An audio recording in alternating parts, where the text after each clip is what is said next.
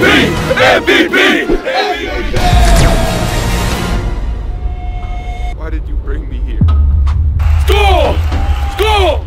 I know, I see it, but why? The Vikings are now a first round exit. I know! MVP Darnold, right? Don't call him that. Don't fucking call him that! What about Paul over there? This is the greatest day of my life! Go Paul!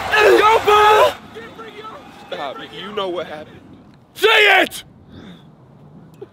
He, he bet it all on the Vikes to win the Super Bowl. He, And don't, just don't. he's dead! He's fucking dead! Let me change things. I can change things. I, It's a canon event! we did it! It's happening! Being a Vikings fan is finally paid off. Skol! Skol! Stop! No! Don't believe the hype! Those Vikings, huh? Yes, sir! Look at that sports betting. Vikings winning it all this year. Hell yeah. No! No! Whoa, you, you good, bro? Bro, I just had a crazy dream. Yeah, you fell asleep. The Vikings just beat the Jets, though. They're 5 and 0. Damn.